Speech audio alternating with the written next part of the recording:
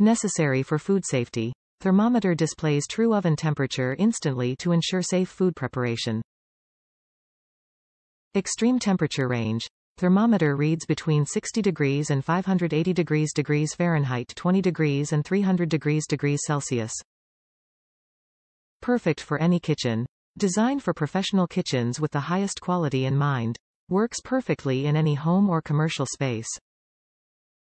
Many uses.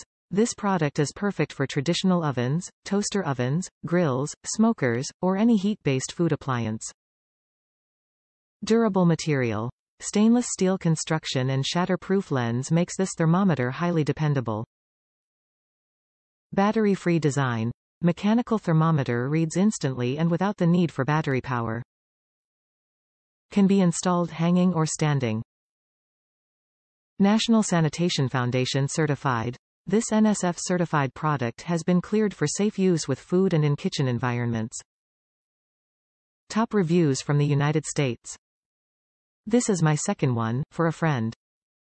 It works. In my old house I had one of these Bekassu my oven was so far off of the preheat settings. On that oven, it was 55 degrees too low, according to the oven setting. Depending on the temperature, it could be off as much as 60 degrees when done preheating. My new house the oven works perfectly, but it's a new house and oven, so it should. Dot but a friend of mine is having the same but opposite issue with her oven. So I thought I'd help her out. At only 10 bucks it totally worth it to not ruin food or not knowing how something is going to turn out. Baking is hard enough without having an extra unknown variables, out of your control. Because my first one, same brand and model of thermometer worked so well, I wanted to buy her this one. Her over is super overcooking food. She said she puts things in for half the time, but that's not the answer.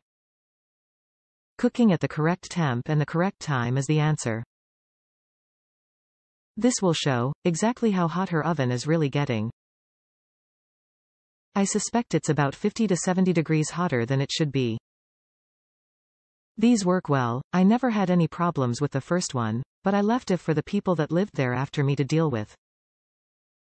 If you don't have the money for a new oven or oven thermostat, here's an intermediate step that works with a little testing.